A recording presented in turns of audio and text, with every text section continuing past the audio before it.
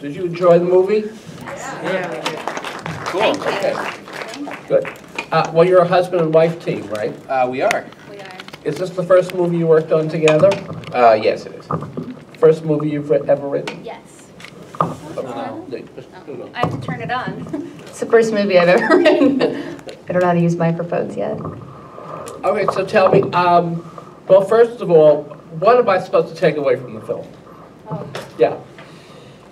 Because I'm a little confused. um, gosh, that's a tough question.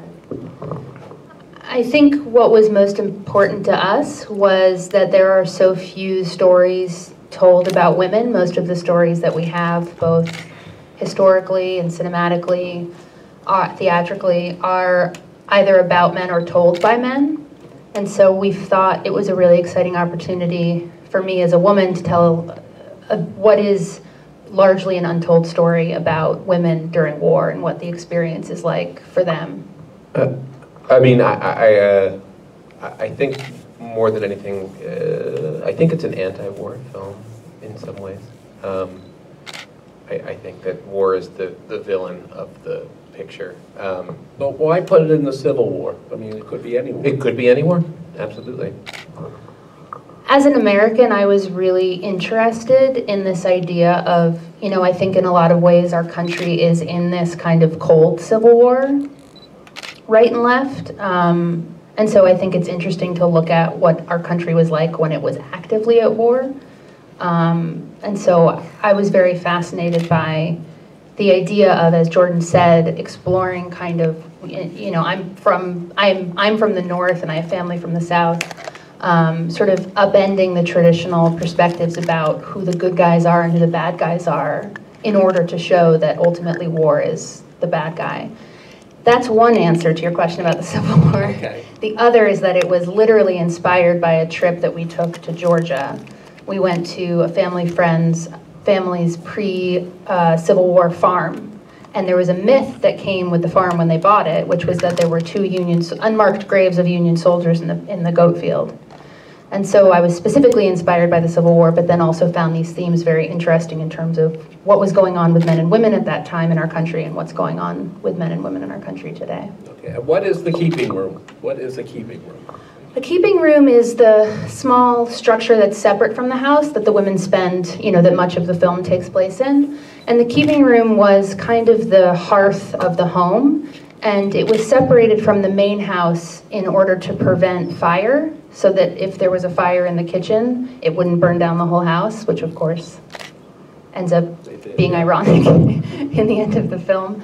Um, but also, it ended up being the space in the house that was occupied by the women because it was the place where family gathered around the fire and the women cooked. It, it to me ultimately represented kind of the female heartbeat of the household, of the farm. And how long did it take you to write the film? Not that. Uh, Well, she, uh, she wrote it quickly, um, but then there was a, a number of, uh, it took a, a bit to, to get it made. Um, and in that process, there was a number of rewrites. So it depends on what you sort of, you know, the first draft that But the kind of first went draft was out, pretty. I was it a high was school. relatively quickly. I was done. teaching high school when I wrote this, and I wrote it on my summer vacation. I wrote Yeah. the first draft on my summer vacation, so a couple months. Yeah, I mean, the, the from a pure story place, the, the film's pretty simple. Uh, I mean, it's it's a it sort of um, abides by a number of horror tropes. Um, honestly, is sort of the backbone of it, uh, and um, it certainly doesn't reinvent the wheel in terms of story, but that was very intentional. Um, and it kind of uh, the characters, I think, kind of wrote themselves for her, um, and then we sort of refined stuff as we as we went forward. There's there's not a lot of dialogue in many places. Is that intentional? I mean, you just wanted the characters, you know, Well, it's funny because my script is actually overflowing with dialogue, um, and the director chose to sort of. I think I had maybe like three lines of action for that whole sequence, that whole silent sequence at the beginning. So he definitely interpreted what I imagined to be sort of briefer moments of that silence uh, and expanded them. So that's something interesting that happens in the process. You know, you, you don't necessarily know what is coming from the script and what's coming from production from the director. So were you happy with how it turned out, or did you watch the film and say, where's all my dialogue? No, no, it was, it's, it's true to the, Yeah, no, it's very picture, true to the, it's- it's very true to the script. there's a lot of things that are surprising about, uh, that aren't surprising anymore, but they're, they're surprising. It's very true to the spirit of the film. Um, You know, we were, obviously, we, we were there and making it um, with the director, Daniel, but I would say in particular, the thing that is most true to the script that I'm the most proud of when I watch it are the women's performances. Um, the way in which Muna Otaru and Brit Marling and Hailee Steinfeld brought the women that I wrote to life is very, um, it's incredible to me to get to see how beautifully realized that is and how much that sort of started at a place for my imagination and then became theirs. And how did you get it made? I mean, what's the pitch to a studio or to independent You know, it's interesting, people? it's interesting, at the script level, um, it was, I, I mean, it's, it's a distinctive piece, you know, I, I, it's a very uh, divisive piece, it's been a bit, you know, it, it's, um, people have very strong opinions about the film in one way or another. Um, and I think that was true about uh, the script as well. And um, it definitely, it kind of stood out being a, a female writer and three female characters in Civil War. And at the script level, it was, um, it was much more of a horror film in some ways, um, very like on its surface a horror film. I think the, the ultimate, the, the, the film became more of like a an artful drama. drama, yeah. Um, It was much kind of it was rougher and yeah, and I think that just kind of, in the, in the marketplace in describe it. Hollywood, it just sort of became a, a thing. Um, As you so- said, it was more of like a classic horror film. Like Exactly. it was inspired by like Night of the Living Dead, um, and like early zombie like John films. Carpenter films. Like the, Yeah. the plot is essentially the plot of Halloween. You know, it, it's not that different from. And it definitely very different. Developed more different. into a drama. Um, and so um, uh, it sort of stood out for that reason. Um, and it, it because it was the first thing she wrote. She was a woman. There was a certain um, there was a people people are seek heat in Hollywood. Sometimes they kind of just go after things, um, and it well, and, became I- one and of you those. should explain what you mean by that, which is that like women, most of the scripts that we see in our business by women are romantic comedies. You know, there aren't many horror horror films or Yeah. more. So it became a thrillers thing. written Uh, by women. At the script level, it kind of became a thing, and then uh, it was on um, this list of, of scripts that haven't gotten made called the Blacklist, which is just a thing in Hollywood. And then um, We hear about the blacklist here all Yeah, the time. exactly, We really do. A lot exactly. of movies, Yeah. yeah. yeah, yeah, I especially mean, at a a lot of theater like films this, get made yeah. off of the Blacklist. It sort of Yeah. brings certain Well, a lot scripts of, to attention. I think, sort of the more interesting, complicated, difficult, Yeah. artful films. Yeah, I mean, it's very It's not big supportive studio of- films. Of stuff outside the mainstream. And, um, uh, and so off of that, it got a lot of attention, and then we started kind of putting the cast together and the director together, and it, it took about uh, a year and a half off of that to actually get it into production. But Tell Yeah. people where you filmed this Civil We- we War shot horror in- movie.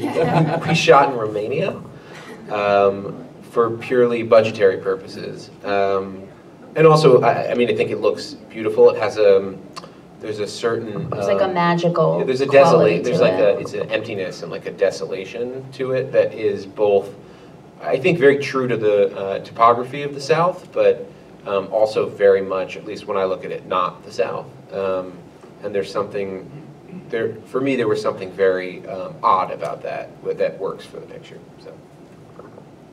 Um, Where did it open? Film festival? How did you do it? We premiered at the Toronto Film Festival, um, and then we played the London Film Festival, Mm-hmm. and then I was just at Fantastic Fest in Austin, and I think it played some other smaller Yeah, festivals. it's, it's played a bunch of regional festivals and a bunch of other festivals internationally, but it premiered at Toronto and then was bought by Drafthouse off of that, Mhm. yeah. What's next for you? Um, I directed my. Is so this- teaching over? Teaching is over. Teaching is over, I yeah. love, well, and now I just directed, a- and I, we wrote and I directed a movie about a teacher, so it's not totally gone from my life. What's the name of it? It's called Miss Stevens, and it is a movie about a woman who is a teacher who's struggling in her personal life, who is tasked with taking a couple of her students to a drama competition. And the, So just like the keeping. yeah, very, very So different your movie. movies, are- when you write movies, they're all going to be obviously a woman's movie, a woman's yeah, point of view. Yeah, because nobody else is, so I have to keep doing it. or there aren't there aren't Right. many of us. You know, it's like this small club of women um, that I know in uh, in our industry, and so we all feel very passionately about continuing to tell stories about women. And Jordan, you produced the film and you're the husband, is that tough? I'm, well, you know, is it a twenty-four seven thing? I mean, does it And we have, Well- a- and we have a baby, Yeah, yeah, we so also have we just yeah. figured we'd throw Okay, so everything. things are good. Yeah, yeah, things, things are good. Um, yeah, no, it is. I mean, it's, it's definitely like, uh, the work-life balance is, is, tough, but it, we work well together. And he just wrapped a movie yesterday, and we locked picture on the movie that I directed. So we had a big week, so we were excited to, You have your own Come here. company, correct?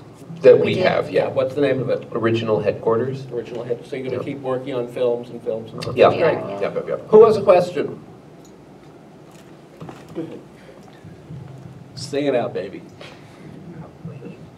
So as a, a- as a couple working together, what, do- how do you figure out whose vision is right if you don't agree?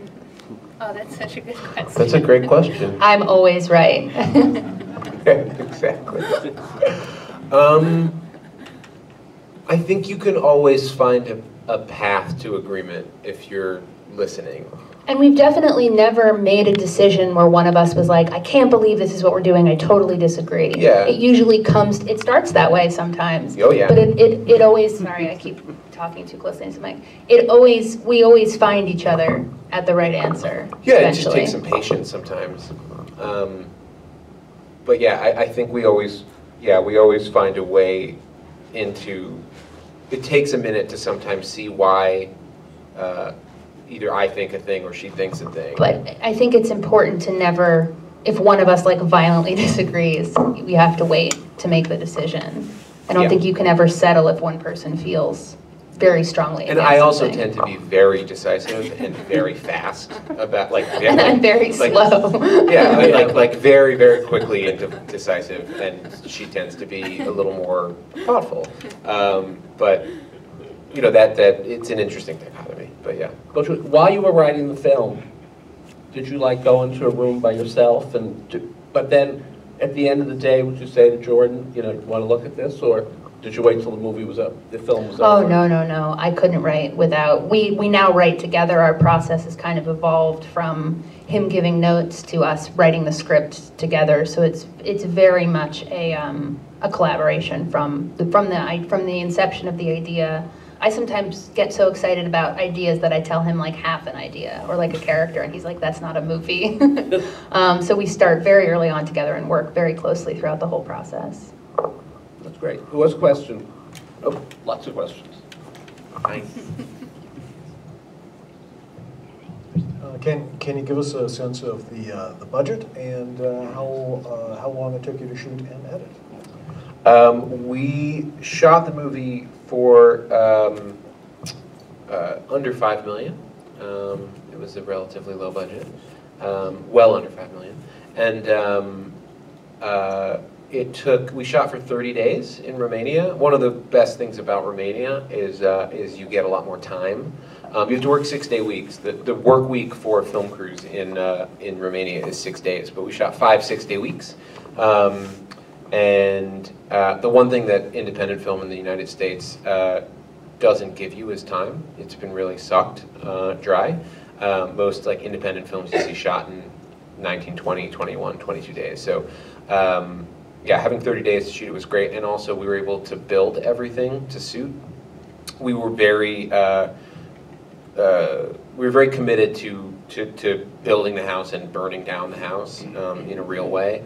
Um, and You know, um, that, they actually yeah. burned it And down, so and we all watched it, it was pretty incredible. doing that in the U.S. would have cost a lot of money, um, and so we just sort of looked at Romania, and it, it afforded us a lot of opportunities that we wouldn't have had here um, to make a film, you know, like this, which is so outside of uh, of sort of the mainstream stuff that, that gets made by studio. So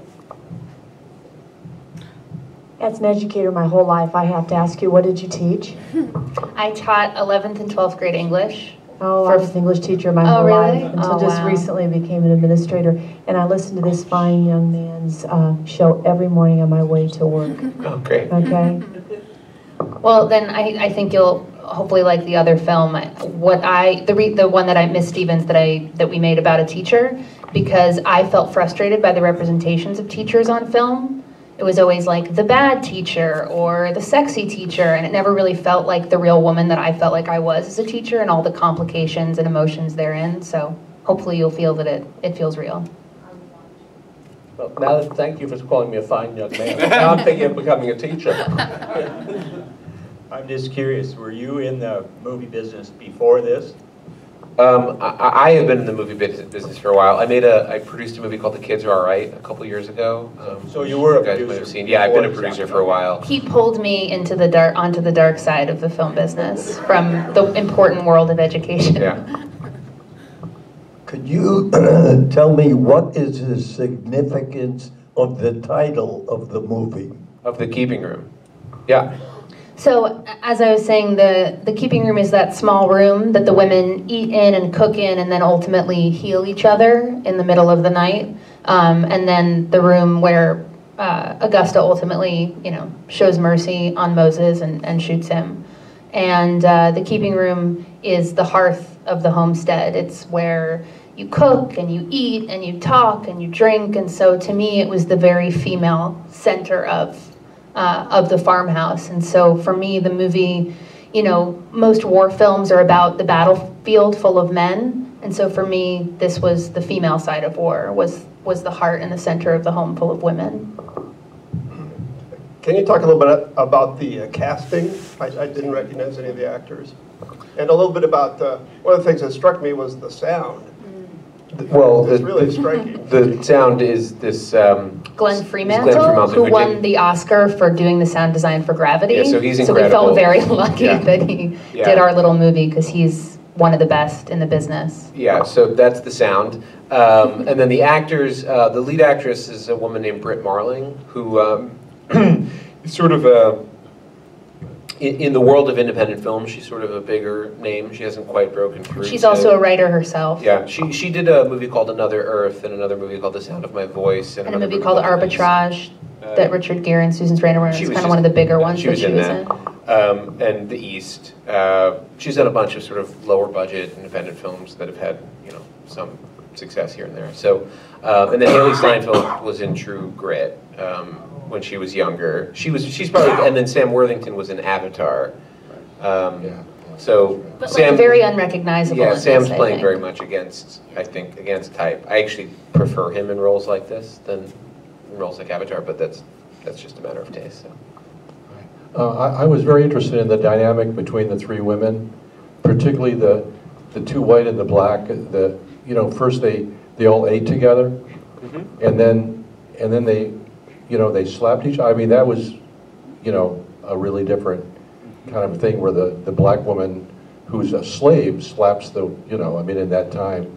Did you do research and find evidence of that type of um, dynamic between people in general and women in particular? I'm glad that's what struck you about the movie because to me that was the most interesting thing in writing it was the dyna- creating this dynamic between the three women.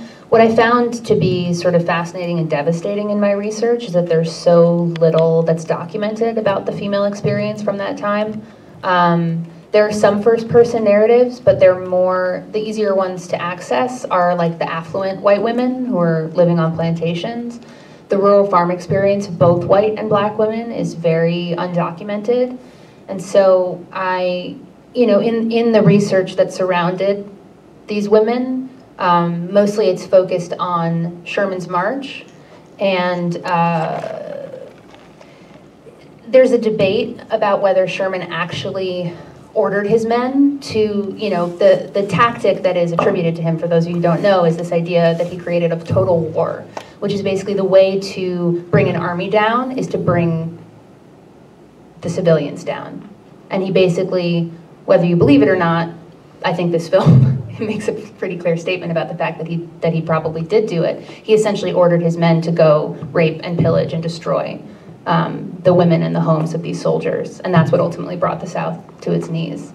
Um, and so, in in the research I did about the men, I kind of had to invent what was, you know, there there are reports of some of the, the these men who lived and survived the war being brought to trial, and Sherman kind of washing his hands and saying he told he didn't tell them to do any of that. Um, and so, in the research I found about the men who had done those things or purportedly done those things, I started to invent what the women would have been like who they did that to. Um, and for me, this idea of these women who, this, the social structure, the very rigid social structure of master and slave dissolving around them as the men who created all of that were gone. I just thought it would be so much more interesting to imagine these women finding a way to their humanity instead of holding on to the structure that's, that's dissolved.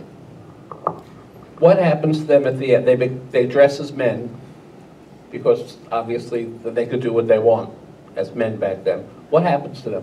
What do you- You're the writer. What do you think happens to them? What does happen to them? Um, I don't know. I was, you wrote the movie. Well, it's interesting because I think people either see it as hopeful or I think there are some people who read it as optimistic that, you know, they've come this far, they're going to make it. And I think there are some people who see it as they're walking into, their death. you know, into their death. So I like leaving it open-ended for interpretation and, you know, Okay. how you I was optimistic, to be honest. I, I thought, because they were so smart, they were so smart to become men, hey, uh, that they're gonna make. Well, that that's how you survive in that world, Right. you know, and that's very that's a that's a very dark truth. But you know, I think these women are there were and there are actually there's documentation of women who dressed the only way they survived the war was because they dressed as men and they made it. They they were convincing.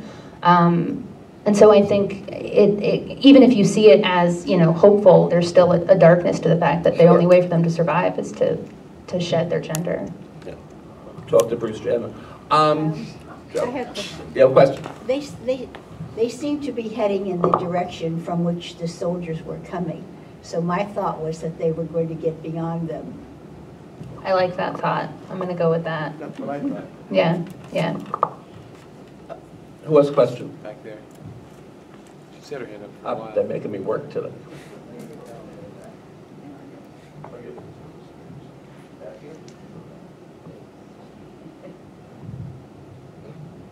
I was very much struck with the quote that you used at the beginning of the story, and then you incorporated into this dialogue of the story about the world being cruel, war being the cruelest of all.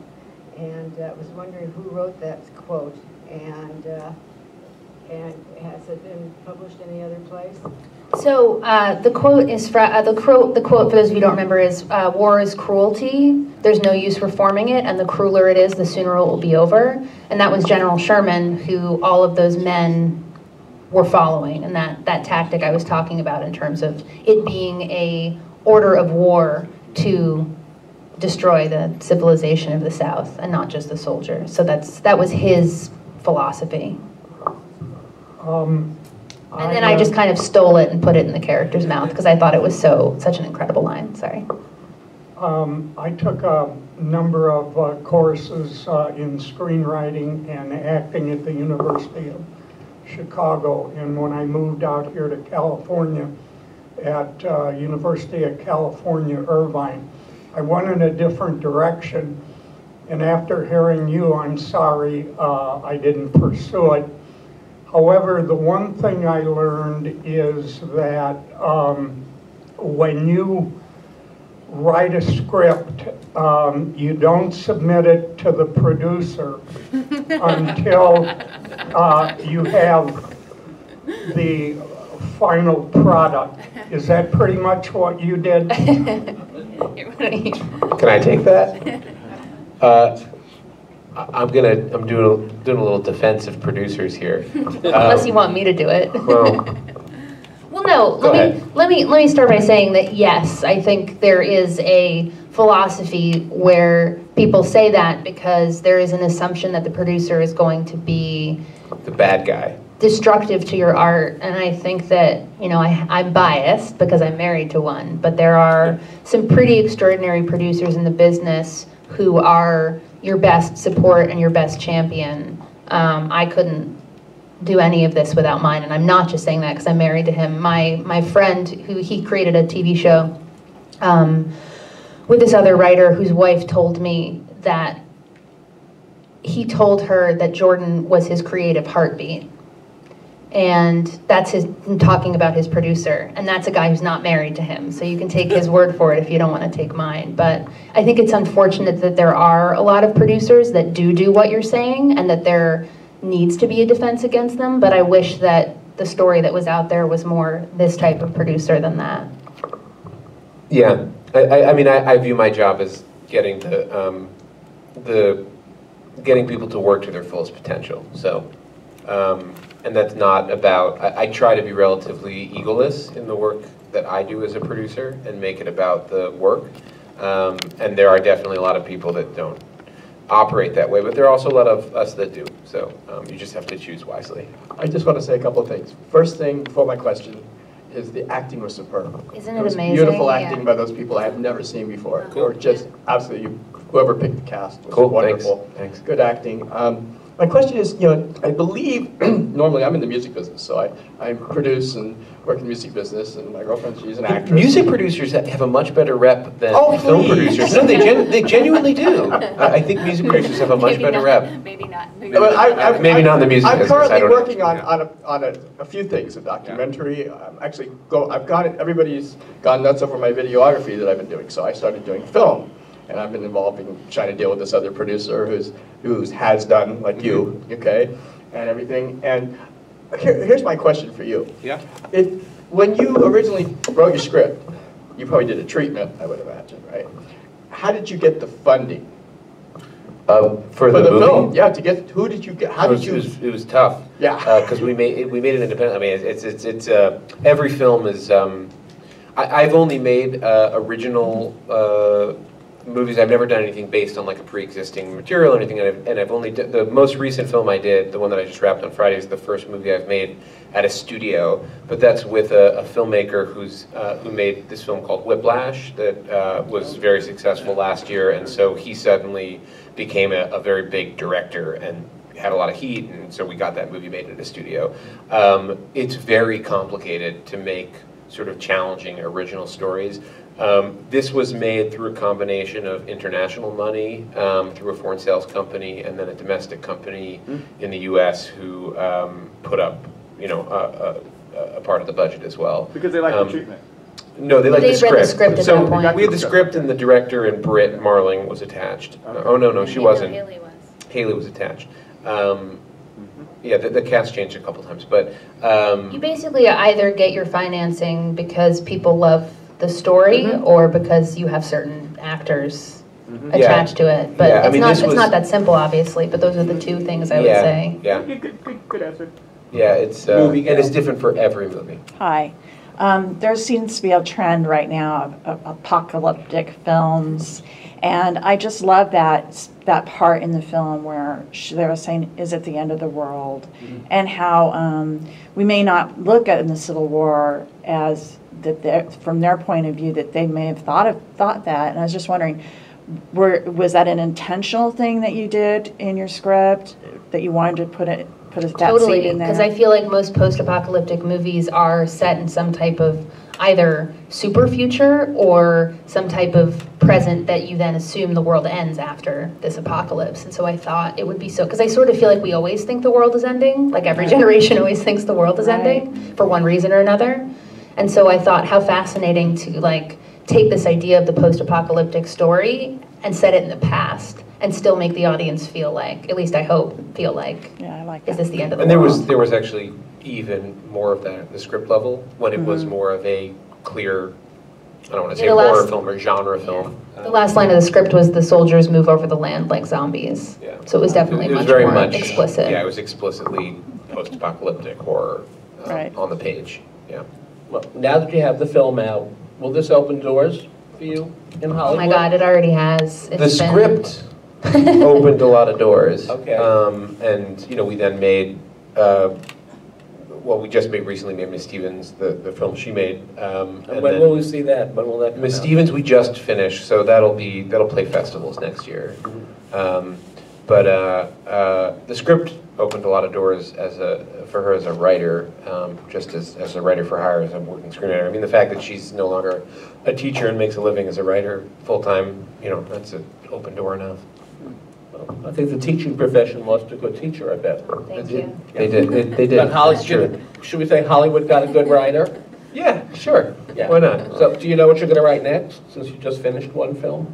I'm writing, um, which I'm really excited about, a miniseries for HBO right now with uh, Anna Paquin and Jack Black that I'm really excited about. Does it have a name? We- It's called Madam X. Okay. Very good, well, HBO is great. Last question back here. No, wait, wait, wait, wait, We want everybody to hear you. Sing it out, baby. Um, I just wanted to say I was totally riveted. It was just mesmerizing you. and Thank you. such tension and anxiety it produced. Um, I just thought it was wonderful, and I love it that it was about the women's point of view, because I'd never even thought about that before, but it made it so personal, what war can really mean. And um, I just, more power to you. Good luck. Thank you so much. Thank you. Well, what would you like to say to close, because we can't top that. I know, we just, we- you, you, you can never hear that enough, it means a lot, and thank you all for sticking around to hear us talk. Yeah, It- this was a really means a challenging movie to get made um, in the system, and just the fact that you know you guys are here to see it in Palm Desert is pretty pretty awesome to us because yeah, uh, it was a hard one. so thank you. Thank you Let's so hear it for much. Julia Jordan.